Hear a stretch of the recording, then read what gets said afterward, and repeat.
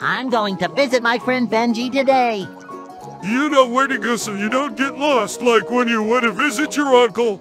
My friend gave me great directions, so I'll find my way.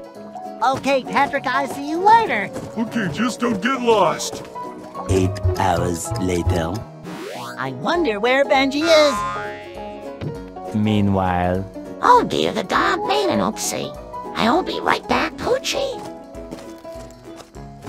I don't see him. I'll use the sponge to clean up the dog poop. Oh no.